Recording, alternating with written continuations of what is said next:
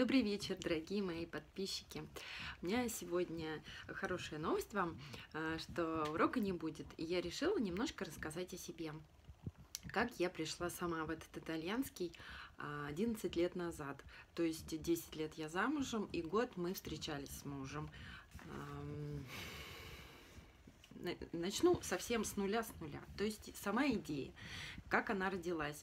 Наверное, а, все-таки я думаю, как э, зародила, зародилось это все в а, при нашей встрече с моей сестрой а, в Крыму, когда мы, я уже, будучи разведенной, поехала в Крым на море отдыхать с детками. И тогда мне сестра сказала просто, «А почему бы тебе не выйти замуж за итальянца? Я уже была э, в то время в разводе. Это я восприняла, конечно, как шутку, где я, где Италия, с какой стати у меня уже сложившаяся работа, дети, а, жизнь в Санкт-Петербурге, в принципе, все устраивало, абсолютно все, как я думала на тот момент.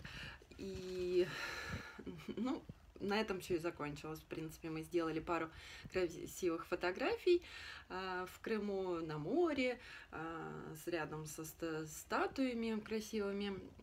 Э, в шутку сказали, что это для сайта знакомств. И на этом все закончилось. В сентябре мы вернулись э, каждый э, в свой дом. Дети пошли в школу, работа, дом, э, ежедневная рутина. А в один из прекрасных дней, как я уже рассказывала а, в группе, я случайно, абсолютно случайно, не собиралась, а, в ночью проснулась и набрала «Как выйти замуж за итальянца?» «Выйти замуж за итальянца», я помню эту фразу. И мне компьютер предложил э, несколько на выбор сайтов знакомств. Э, мне кажется, что это была мамба. Я как-то быстро мне удалось пройти все этапы от э, регистрации, э, внесения всех данных. Все удалось. Очень быстро зарегистрировалась. Ну и довольная я заснула на самом деле. А, на утро следующего дня я проснулась с мыслью, конечно, проверить свою почту и компьютер. И оказалось, что у меня там э, ждал сюрприз. А, ну, несколько, конечно, русских вариантов и э, одно такое вот э, сообщение. Buongiorno, Элена. Парли итальяно. Э, естественно, я тут на тот момент абсолютно не знала итальянский. Была по... очень хорошо знала английский. Я закончила спецшколу, работала учителем английского языка, репетитором долгое время. И хорошие знания французского, как факультатив у меня был французского языка. Ну, подумала, что в принципе... Ну и мы, э, завязалась сразу как-то наша переписка. Он очень интересовался, где живу, как, дети. А, ну, фотографии у меня красивых, конечно, и рассказать о городе есть э, было все. Как-то в течение Понятно было сразу, что я должна как-то начать и учить итальянский. Я пошла сразу покупать книги, потому что Google переводчик на самом деле не дает э, точные переводы, а, искажал текст, ты на ты, на вы постоянно переходили. И это как-то мешало, конечно, общению. А, поэтому я начала самостоятельно, потихоньку, шаг за шагом, день за днем. Тем более с таким собеседником очень быстро набирался словарный запас.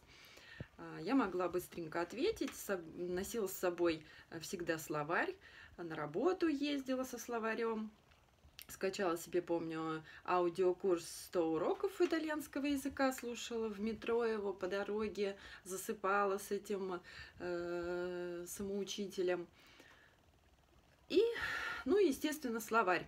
Словарь всегда у меня был в сумке, я с ним постоянно, а потому что э, итальянский друг требовал, практически требовал, потому что доходило до Э, разборок, почему я не, не отвечаю на его сообщение. То есть, когда пришло сообщение, я должна понять, а, перевести и побыстрее ответить. Вот такой мне попался товарищ. Ну, в принципе, все было в шутку, все замечательно. А, через уже месяц а, он захотел приехать к нам, взял билеты из Неаполя э, в Санкт-Петербург. Мы его всеми, все девочками моей квартиры ждали. Даже маленький ремонт такой сделали в, в квартире.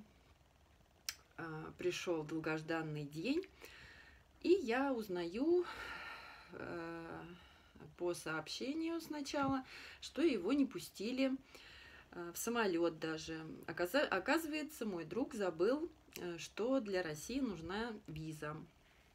И потом плачущие его сообща видеозвонки, что он плакал, что вот такое беда с ним приключилась.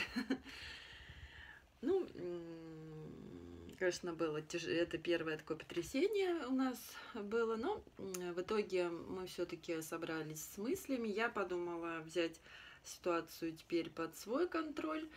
Э, так как я не была еще на тот момент ни разу в Италии, а, и сестра моя посоветовала взять а, сходить в агентство и просто-напросто купить тур.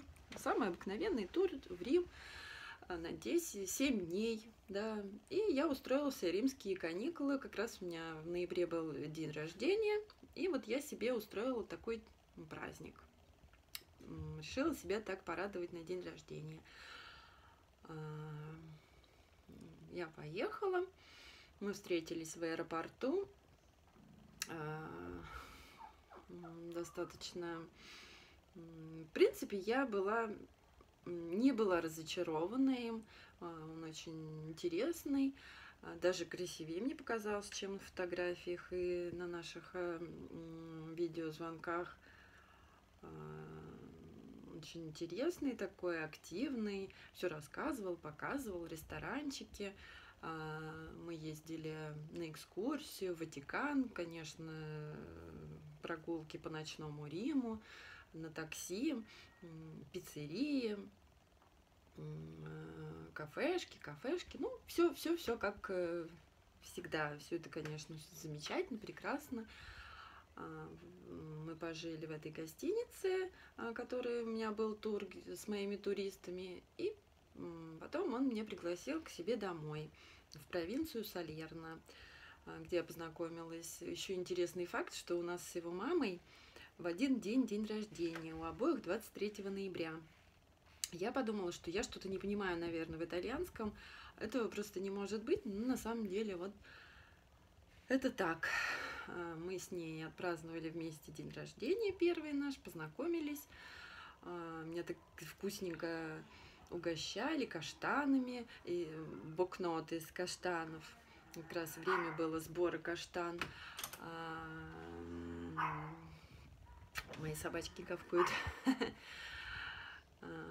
Общем, замечательная семья, родители, а, братья. У него в семье а, шесть, шестеро детей в их семье, он второй брат. А, интересная семья. Вот, э, вот так как-то вот наш роман продолжался. Продолжение я вам расскажу потом. А пока, пока, пока-пока.